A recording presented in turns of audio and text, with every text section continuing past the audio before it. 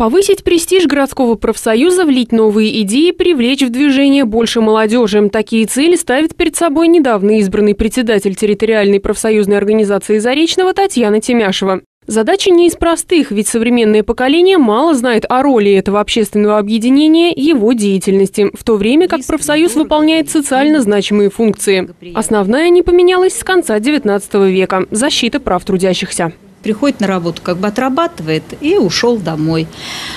И вдруг что-то случается. Не дай бог там болезнь, травма ли, э, какие-то жизненные обстоятельства тяжелые.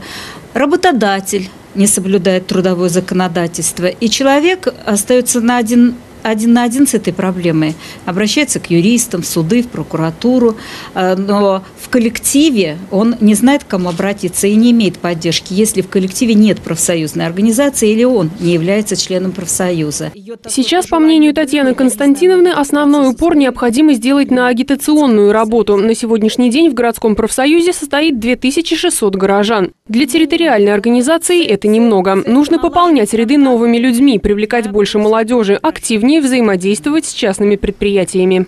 Тут много предстоит работать, и я думаю, что сама, наверное, столкнусь с рядом трудностей и э, сложностей, разрозненности. Потом э, все-таки частный бизнес у нас э, сложно будет э, с ними работать. Работодатели, наверное, не всегда будут приветствовать создание профсоюзной организации в их коллективах.